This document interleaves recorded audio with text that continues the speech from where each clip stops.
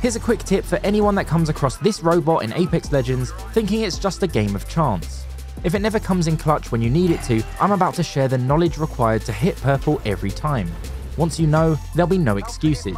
All you need to do is notice the order of the coloured faces. White, blue, then purple. Wait until the blue face is just about to enter the screen after the white one, hit the button, and boom, purple quality loot for one and all. 100% of the time, it, It works works. every time. Every time.